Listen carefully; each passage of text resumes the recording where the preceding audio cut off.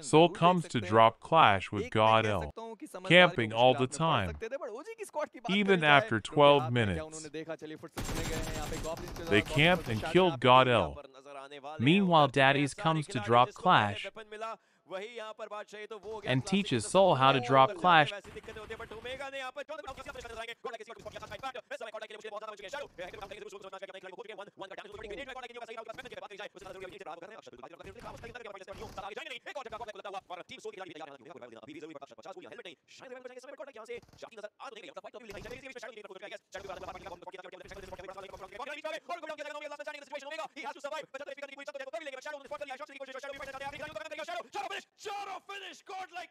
Now say, who is your daddy? Just saying a few things, but silence!